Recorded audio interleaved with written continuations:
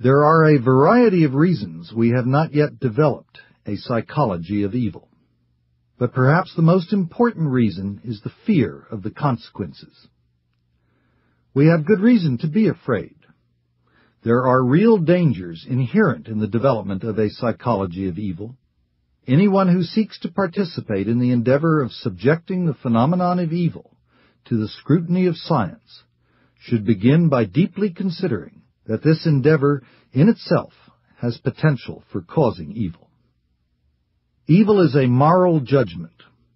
I am proposing that it may also be a scientific judgment. But making the judgment scientifically will not remove it from the moral sphere. The word is pejorative. Whether we call a man evil on the basis of pure opinion or on the basis of a standardized psychological test, we are passing a moral judgment. Shouldn't we refrain from doing either? Science is dangerous enough.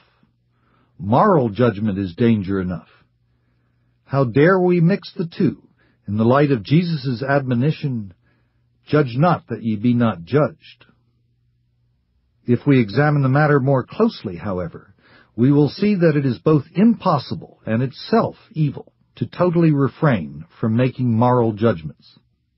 An attitude of I'm okay, you're okay may have a certain place in facilitating our social relationships, but only a place.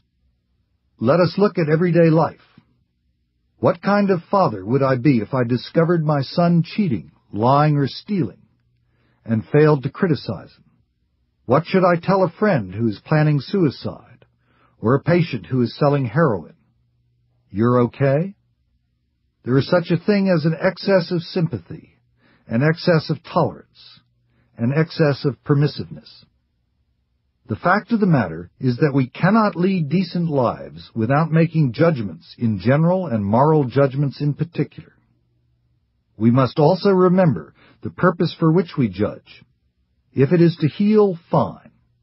If it is to enhance our own self-esteem, our pride, then the purpose is wrong. There but for the grace of God go I, is a reflection that should accompany every judgment of another's evil.